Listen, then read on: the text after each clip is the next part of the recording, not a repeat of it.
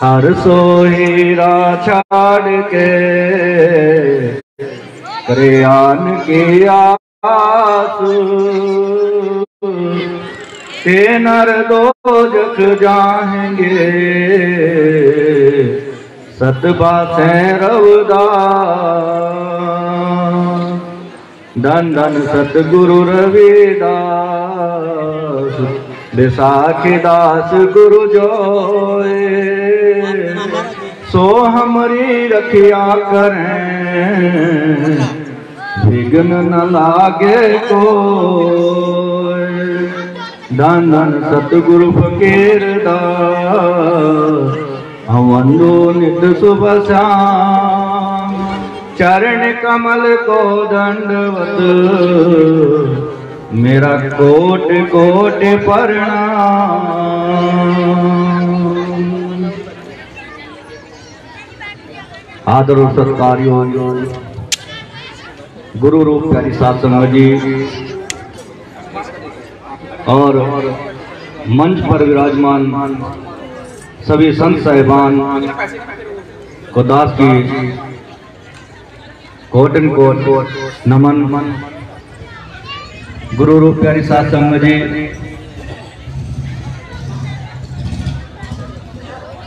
मेरी ओर से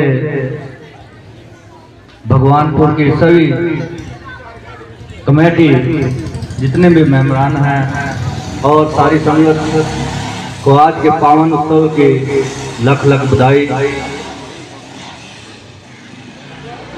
गुरु रूप प्यारी सात संगत जी, आज हम भगवानपुर में संत श्रोमणी श्री गुरुदास जी महाराज के जन्मोत्सव पर पहला संत सम्मेलन मना रहे हैं, जिसमें आप दूध राज से संगत आई है, संत साहिबान। दूध राज से इस पावन सत्संग में आए हैं। उनका सभी का इस सत्संग में आने पर हार्दिक स्वागत है। जगत गुरु सतगुरु रविदास जी महाराज अपनी पवित्र वाणी में व्याख्यान करते हैं। माधो अविद्या विवेक दीप जगत गुरु सतगुरु रविदास जी महाराज, उस परम पिता परमात्मा के आगे विनती करते हैं कि प्रभु जी, आपसे बिछड़ कर इस जीव में द्वैत भावना आ गई है। और माया रूपी पर्दा इसके ऊपर ऐसा छा गया है कि अपने आप में और आप में भेद समझने लगा हे प्रभु जी, आपके बिना इसकी कैसे गति होगी? हे प्रभु जी, इसके सोचने समझने की शक्ति मलिन हो गई है। मृग मीन भृंग पतंग कुंचर, एक दोष विनाश।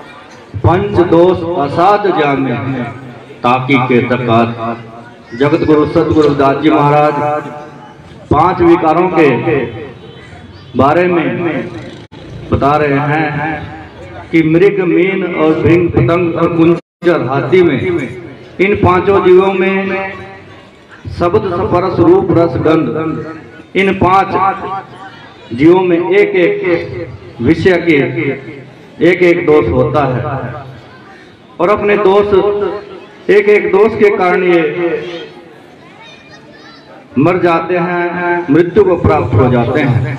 लेकिन पंच दोष असाध्य जान। हे प्रभु जी, इस इंसान में तो पाँचों दोष विद्वान हैं। इसके बचने की कहाँ तक आस की जा सकती है? और आगे श्री गुरुदास जी महाराज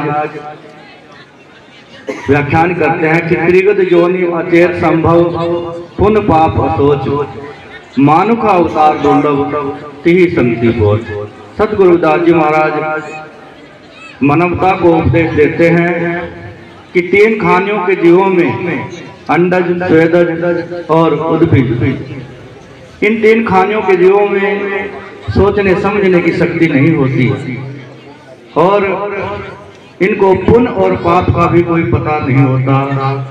लेकिन मानव का उतार दुर्लभ ही बोल ऐसा तेरे को तो जन्म मिला है, जिसको प्राप्त करने के लिए देवता लोग भी तरसते हैं।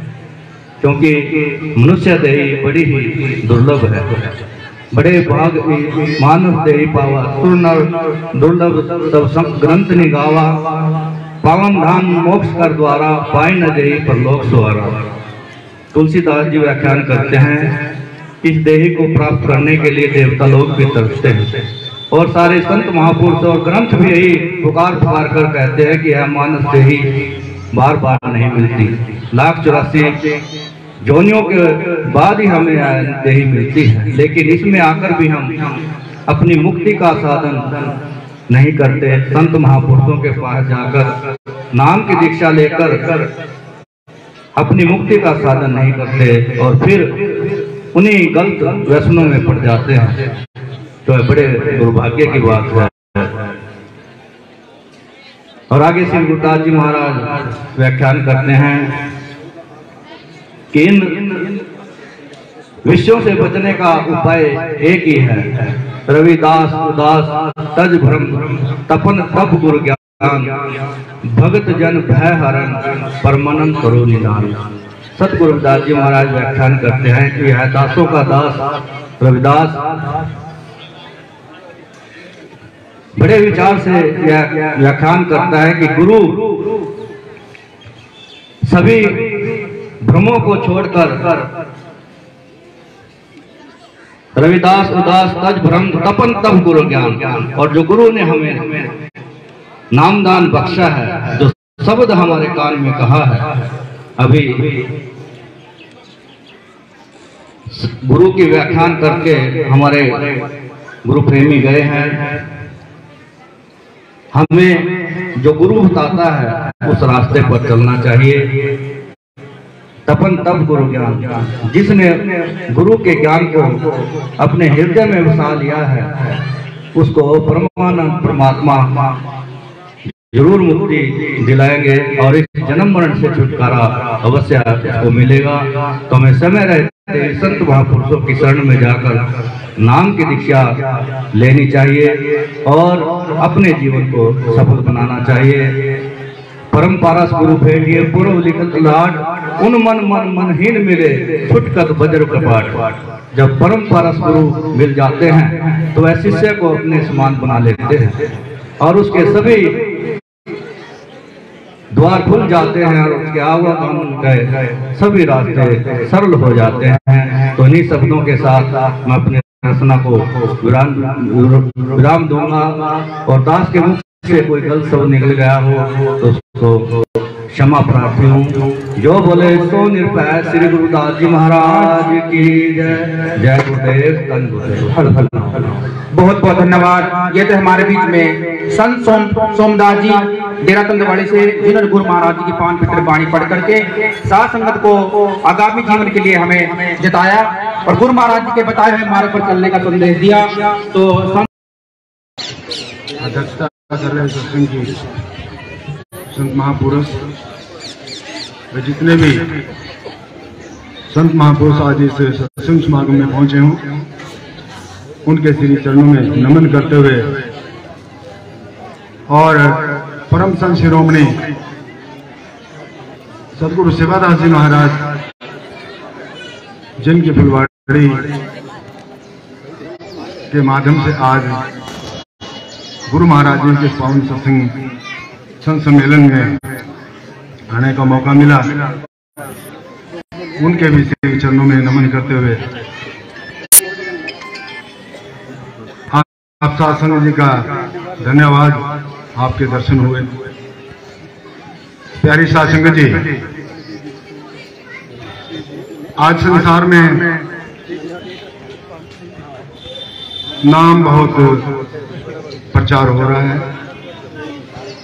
और नाम के बिना है भी कुछ नहीं। ऊपर जो मंच पर विराजमान संत साहिबान हैं, जो गुरु हैं, उनका साथ संगत पर बड़ा अनुकरण है कि वो नामदान के माध्यम से हमारे समाज को जोड़कर, उनको नरक के गर्भ से निकालकर स्वर्ग की ओर ले जा रहे हैं। तो ऐसे संत महापुरुषों का हमें ऋणी होना चाहिए। हाँ। भाई सतगुरु पद को वंदना। हाँ सतगुरु पद को वंदना। रिकॉर्ड। आप समान। द्वितीय सर्व को वंदना। और सभा समागम संत, संतन के प्रताप से तो कट जा अनंत। हे परम पिता, परमात्मा, मेरे दुख भंजन जगदीश, श्री सेवादास सतगुरु मेरे नाम किया बकसीस भाई नाम नाम तो सब कहें और नाम न जाने नाम जिना न जानिया तो उतरे भव से पार। नाम की बहुत चर्चा है। इस नाम के बिना संसार में कुछ भी नहीं है। प्यारी सासंग जी, उत्तम और श्रेष्ठ नाम नाम। तो सभी श्रेष्ठ हैं, लेकिन उत्तमों में उत्तम नाम संत शिरोमणि श्री गुरुदास जी महाराज ने प्रखर मुख में इस संसार को दिया है। इससे पहले भी नाम था, आगे भी नाम रहेगा, लेकिन कुछ संतों ने नाम को अपने अपने तरीके से दिया है। किसी ने ओम, किसी ने राम, किसी ने कृष्ण के रूप में, किसी ने हंग के रूप में, किसी ने तोंग के रूप में तो नाम अनेक प्रकार के लेकर संत जो है ना, इस जीव को उस ओर लगाते हैं। लेकिन संत शिरोमणि श्री गुरुदास जी महाराज ने उस परमेश्वर के नाम को एक ऐसे रूप में प्रकट किया है जो विज्ञानात्मक है, ज्ञानात्मक है, ध्यानात्मक है। तो हमारे जितने भी संत हुए हैं, भारतवर्ष के अंदर, वो सारे श्रमण संस्कृति के संत हुए हैं। दो संस्कृति धार्मिक रूप से इस क्षेत्र में काम कर रही हैं।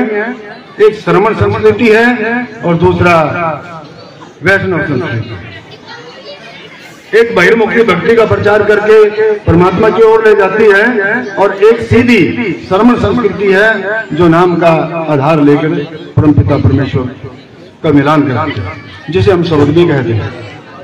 लेकिन इसका अभी उजागर नहीं हुआ। इसका अगर आपको ज्ञान प्राप्त करना है तो गुरु महाराज जी के दो ग्रंथ हैं, संत रैदास परवर और एक और ग्रंथ है, संत रैदास दीर्घ ग्रंथ। जहाँ से आप, जिसने वो ग्रंथ पढ़ लिया और उसको श्रवण मनन निध्यासन कर लिया, उसमें कोई ग्रंथ ढूँढने की ज़रूरत नहीं है, लेकिन वो प्राप्त नहीं है हमारे यहाँ एरिया में तो मैंने कहीं देखा ही नहीं। तो प्यारी सात संगत जी, उसमें जीव से लेके ईश्वर तक, पिंड से लेके ब्रह्मांड तक संपूर्ण ज्ञान दिया है। ये भी बताया है कि शब्द की उत्पत्ति कहाँ से हुई है। शब्द से कैसे सृष्टि रची है। तो प्यारे सात संगत जी शब्द से उत्पत्ति शब्द से सब कुछ है, लेकिन शब्द जानना बहुत ज़रूरी है। शब्द कहाँ से जाना जाता है शब्द विवेकी संतों से जाना जाता है। तो प्यारे साथ संगत जी, जो नाम है, चारों साधन चमन मैं चारों साधन चमन और जगत गली गुलजार। सो गुरु हमारा जिसका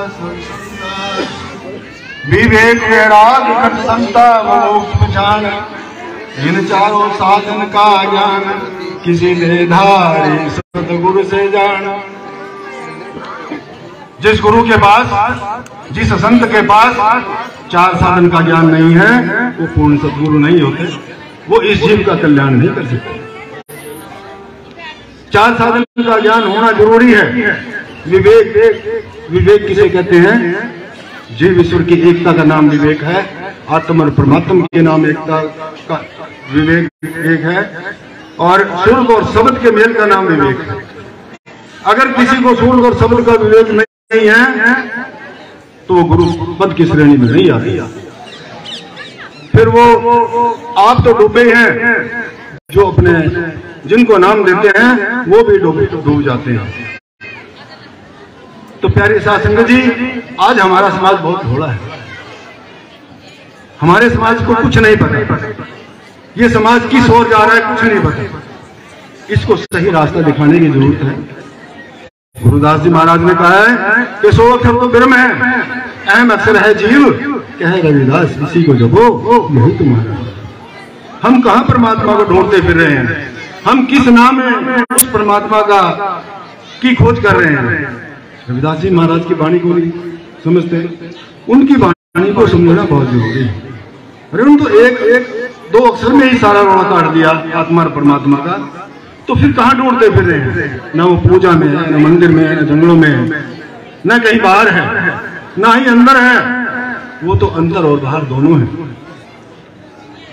आइए हम नाम की थोड़ी सी परिभाषा करें। बाणिया तो हम बहुत कहते हैं, सुनते भी हैं। लेकिन ये जो ब्रह्म ज्ञान का मूल रूप है, इसे भी जानना बहुत ज़रूरी है। गुरु महाराज की कृपा से गुरुदास जी महाराज की कृपा से सेवादास जी महाराज कृपा से, जो भी उनकी कृपा से, अनुकंपा से मुझे महसूस हुआ, मैं सात संगत के सामने ज़रूर रखना चाहूँगा। सो अक्षर तो ब्रह्म है, सो क्या है? सो नाम है जो हम सांस लेते हैं अंदर। वो सांस कहाँ से आ रहा है? वो परमेश्वर में से आ रहा है। जब वो सांस परमेश्वर में से आ रहा है तो फिर वो हमें ले भी जा सकता है वहाँ, क्योंकि वो आई वहाँ से रहा है। उसके बगैर जीवन नहीं है। अगर आपका सांस अंदर नहीं आता तो आपका जीवन नहीं है, आप